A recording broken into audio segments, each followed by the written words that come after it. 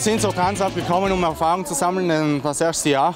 Daniel ist noch sehr jung, will noch Erfahrung äh, sammeln im Marathon. Wir haben gesagt, wenn wir können unter den 10 mitfahren, dann haben wir unser großes Ziel schon erreicht. Ich habe im Vorhinein angekündigt, auf der Etappe nach Sarental sicherlich eine Attacke zu starten. Es ist uns gestern sehr gut aufgegangen, gelungen. Und heute, äh, ich glaube, haben wir das Szenehäubchen noch oben drauf gemacht auf der, bei der Transalp. Wir, wir, haben ein bisschen vom Pech von den anderen profitiert. Es ist keine Entschuldigung, wir hatten auch ein kleines Pech dabei heute auch. Aber trotzdem, ich glaube, wir sind sehr, sehr stark unterwegs, haben das ganze Risiko in den Abfahrten aufgenommen.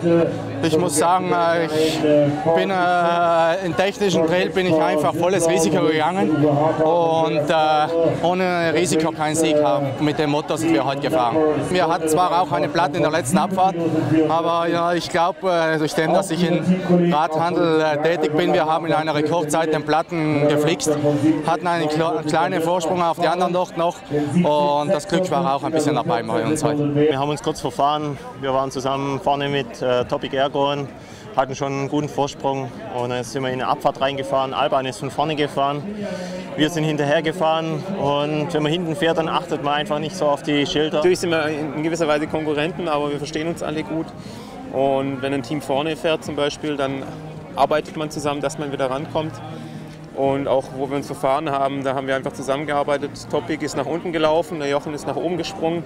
Und Jochen hat dann geschrien, ja halt, wir müssen hochkommen, da sind wir richtig. Dann sind wir alle wieder hochgelaufen und äh, dann war das Treffen wieder offen.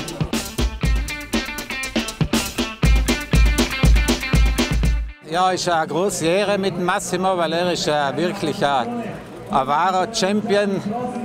Weil äh, ich muss sagen, er hat eigentlich von Anfang an hat er mich voll unterstützt. Und äh, er ist zwar stärker und äh, in die Anstiege hilft er mal, er schiebt man manchmal ein bisschen, und, äh, aber man muss sagen, es ist wirklich eine Ehre, mit äh, so einem äh, Fahrer die Transalp zu fahren.